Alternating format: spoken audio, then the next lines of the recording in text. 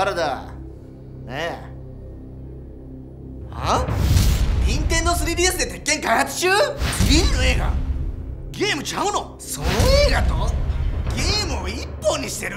秒間60フレームで立体視を実現？こんなもん誰かに騙されて決まってるな？早起きろボケ！あそんなこと言うたってお前任天堂 3DS なんか持ってへん言うてたやないか